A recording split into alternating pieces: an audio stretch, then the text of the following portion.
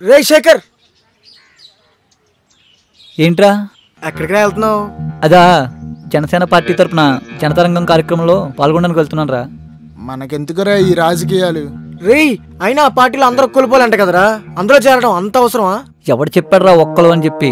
అయితే ఆయన పక్కన ఉన్న నాదెండ్ల మనోహర్ గారి దిక్కులం రావెల కిషోర్ బాబు గారి దిక్కులం పసుపులేటి బాలరాజు గారి దిక్కులం తోట చంద్రశేఖర్ గారి దిక్కులం ఆయన స్నేహితుడు ఆలీ గారి దిక్కులం త్రివిక్రమ్ శ్రీనివాస్ గారి దిక్కులం రేయ్ కులం గోడలపై కుర్చీలెక్కే సాంప్రదాయాన్ని ఎప్పుడూ కూల్చి పస్తులు అన్నవాడు ఆకలి తీర్చడానికి తన ఆస్తులు వదులుకొని వచ్చాడ్రా మా నాయకుడు.